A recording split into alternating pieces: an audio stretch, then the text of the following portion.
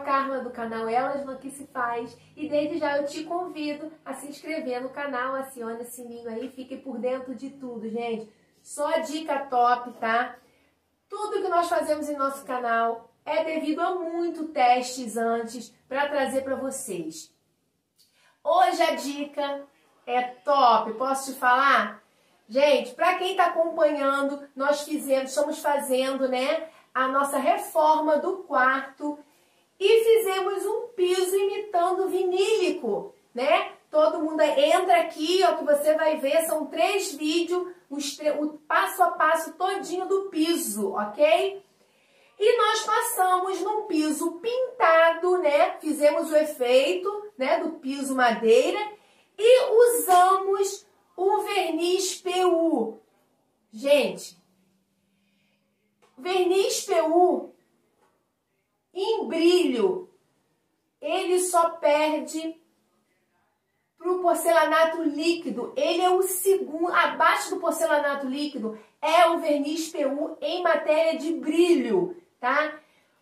O nosso piso, ele criou uma película muito aderente, ótimo para limpeza.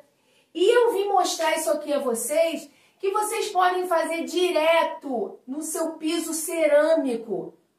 Seu piso está desgastado. Ah, eu não quero trocar, meu piso está bom, mas perdeu totalmente o brilho devido à obra sem brilho, perdeu o brilho. Eu já tentei colocar cera, passar cera, não volta, tá? Fica só na hora, daqui a pouco tá tudo embaçado. E nós fizemos o teste, vou mostrar para vocês aqui o passo a passo super rápido de a diferença do piso. Eu peguei uma cerâmica.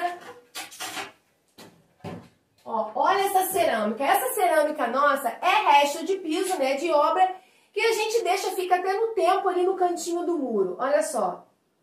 Tá vendo? Sem brilho algum. E nós passamos o verniz PU. Olha isso aqui. Aqui só tem uma camada, tá? E olha como tá isso.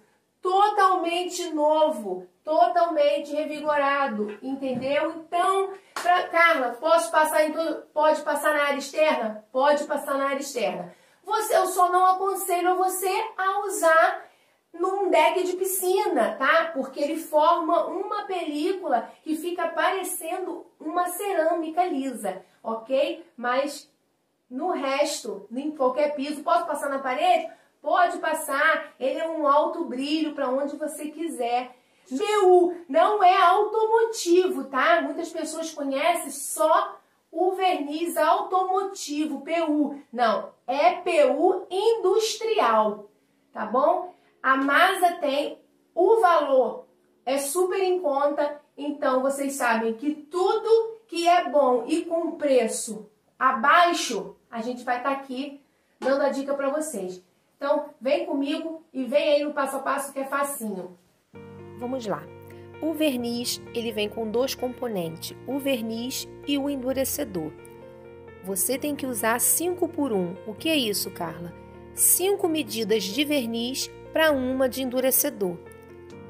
Você vai misturar bastante os dois componentes e deixar descansar por 10 minutos antes de utilizar. Ok? Você vai usar um rolo para fazer a aplicação. É super fácil, tá? Ele desliza super bem. Aí nós estamos mostrando, fazendo só uma demonstração para vocês num pedaço de piso. Segue, gente, o canal da Masa, que é Tintas Masa, que o Lopes está dando todas as instruções e o passo a passo do verniz PU, tá bom? Na lata tem todas as instruções para você seguir direitinho, então não tem erro, é super fácil a aplicação. Aí eu estou passando num, num piso cerâmico, tá? Para demonstrar a vocês. Porque acabando a nossa obra aqui, nós vamos passar em todo o piso. Mas já estamos adiantando, tá? Essa dica top para vocês aí utilizar na casa de vocês. Verniz PU, você vai, Depois da primeira camada, você vai esperar cerca de 4 horas, esperar a secagem para dar a segunda demão. E é isso, gente. Essa dica tenho certeza que vocês vão amar para renovar o piso de vocês.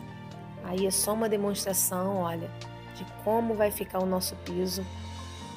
Estamos terminando nossa obra para fazer a finalização. Espero que tenham gostado. Segue o canal Aqui Se Faz Aqui Não Paga, que Flávio também dá altas dicas no canal.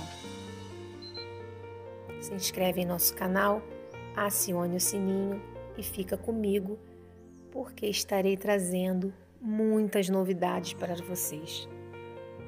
Fica com Deus e até o próximo vídeo.